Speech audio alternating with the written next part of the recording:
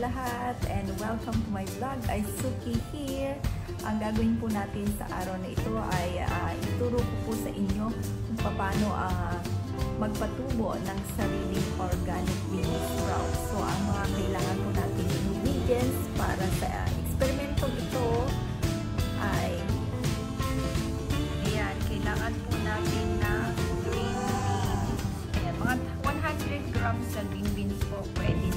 Tapos ito, binutasan ko na rin po siya.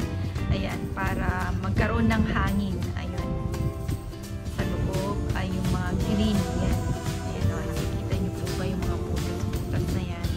Uh, you can use uh, your own nails o mga pambutas na pwede nyo gamitin. Bahala na po kayo. Ayan. Kailangan rin po natin ng imbudo. Yan, mamaya. Ituturo ko po sa inyo. Black plastic. Pwede na rin po yan. Basta kung ano po yung meron.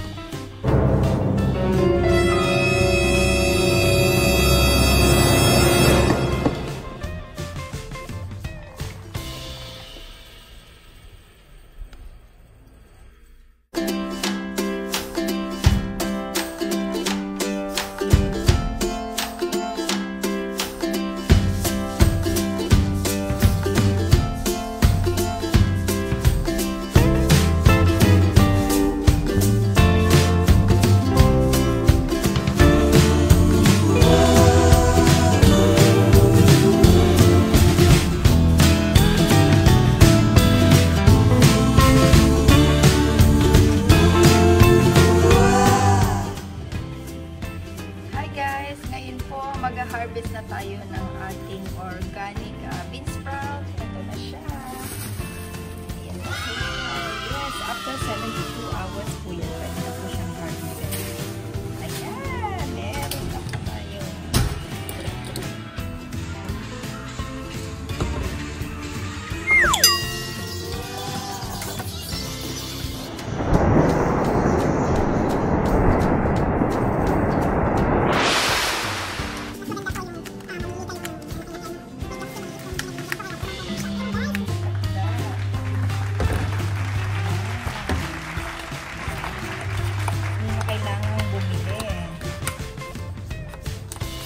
After 3 days or 72 hours in equivalent, meron na po kayong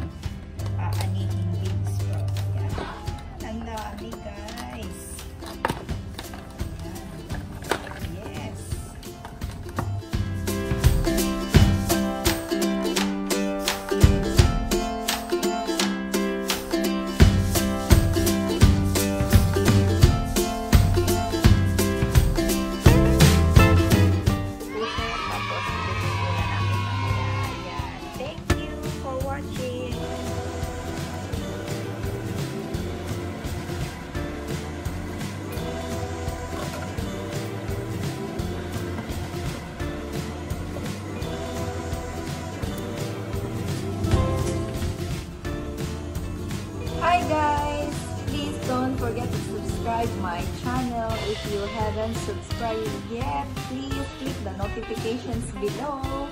Always remember, wake up every day stronger than yesterday. Face your fears and keeps on smiling. Bye-bye!